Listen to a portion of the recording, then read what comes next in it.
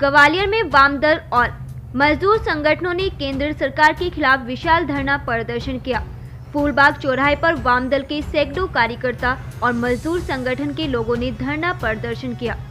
धरना दे रहे वाम दल और मजदूर संगठनों का कहना है कि केंद्र सरकार ने महँगाई फाकने और उद्योग रोज़गार को लेकर ठोस कदम नहीं उठाए हैं। उद्योग धंधे बंद हो रहे हैं, मजदूरों की माली हालत खराब हो रही है। महँगाई लगातार बढ़ रही है, आज केंद्र सरकार हर मोर्चे पर फैल है। वाम दलों ने केंद्र सरकार को चेतावनी दी है कि केंद्र सरकार ने महँगाई पर काबू पाने और मजदूरों के हितों में नीतियाँ नहीं बनाई। तो आने वाले समय में उग्र आंदोलन किया जाएगा।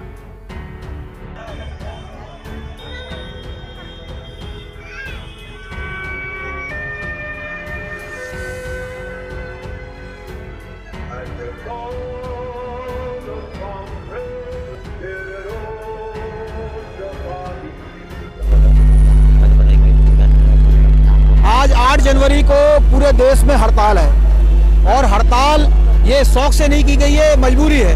मजबूरी ये कि हम लगातार संयुक्त ट्रेड यूनियन मांग कर रही है कि देश के अंदर एक मजदूर का न्यूनतम वेतन इक्कीस हज़ार रुपये होना चाहिए। लेकिन ये सरकार इक्कीस हज़ार रुपये न्यूनतम वेतन घोषित करने के लिए तैयार नहीं है। पूंजीपतियों के टैक्स माफ़ किए जा रहे हैं, लेकिन मजदूर का इक्कीस हज़ार रुपये वेतन नहीं दिया जाएगा।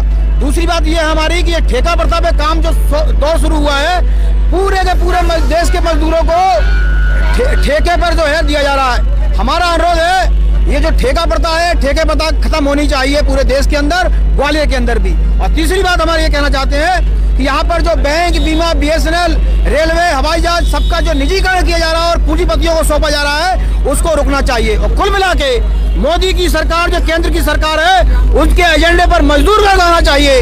उसके एजेंडे पर जो है आंगनबाड़ी कार्यकर्ता आना चाहिए।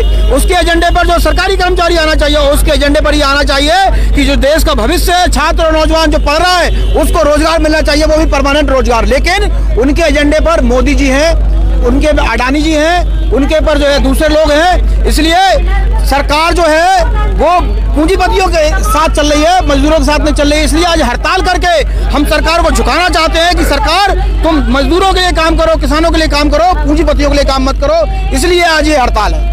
मजदूर एकता यहाँ पर देश के जो दस ट्रेड यूनियन है, वो सी टू इंटर केटक और तमाम सारे जो फेडरेशन है सी टू से जुड़ी यूनियन है एम आर है मेडिकल रिप्रेजेंटेटिव है बिरला के कर्मचारी हैं, शराब कारखाने के मजदूर हैं, कंबल केंद्र के मजदूर हैं नगर निगम के कर्मचारी हैं स्लीपर फैक्ट्री के मजदूर हैं सारे लोग जुड़े हुए हैं